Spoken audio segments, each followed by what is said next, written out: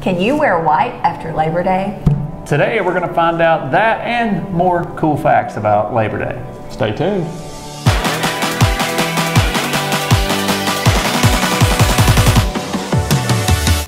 Hi, I'm Crystal. I'm Ethan. And I'm Brandon. Welcome to Monday Mortgage Matters the Labor Day edition. So we're technically not here today. Right.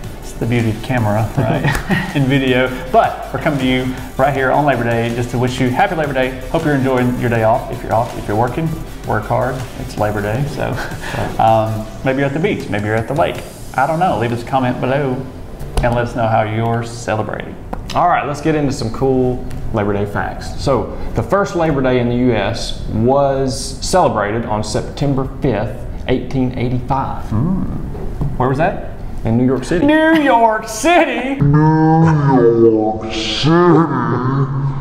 Historians say that the expression no white after Labor Day comes from when the upper class would return from their summer vacations and stow away their lightweight white summer clothes as they returned back to school and work. Well, just because the upper class didn't wear white doesn't mean you can't wear white now. I've actually heard white. that it's okay. Like it used to be a thing. I don't think it's a thing anymore. I wear white after Labor You know what? Just We're all wearing white off. next week, right here.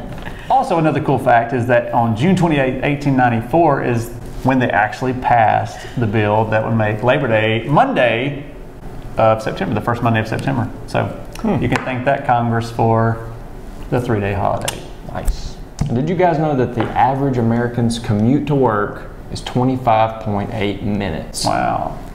My commute's about three minutes. What's y'all's? So that's about 5.8 minutes. Mine is around 18 minutes. wow. The Adamson Act was passed on September 3rd, 1916. That's right. Oh, good.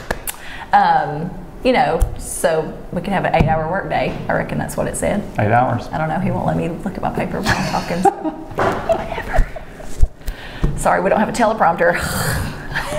We're not that highfalutin upper class. And finally, the last fact is the father of Labor Day is considered to be Peter McGuire. I don't even know who that is. Spider Man. That's what I read. It was on the internet, so it's probably true. What's the truth? That's right. Isn't We're still Spider filming, Man's by the way. Huh? Isn't that Spider Man's name? Peter Parker. Peter Parker. Somebody's McGuire. Tobey Maguire, who plays Peter Parker. Yeah. There you go. You can make that jump. I'm with you. I'm, Yeah. I follow you. Well, we do hope that you take and get some space bags and pack up all your little white belongings and shove them in a closet somewhere until next year. There you go. I mean, it's okay. so Here's my question. So you're not supposed to wear white after Labor Day. When can you start wearing white again? First day that it gets above 65. Yeah, yeah, yeah. Yeah. Feels like spring. First day of summer or something. Yeah.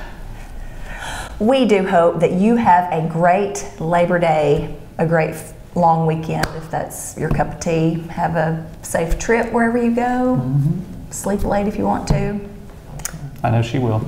Yes, I will. I think I'm running a 5K that morning, by the way.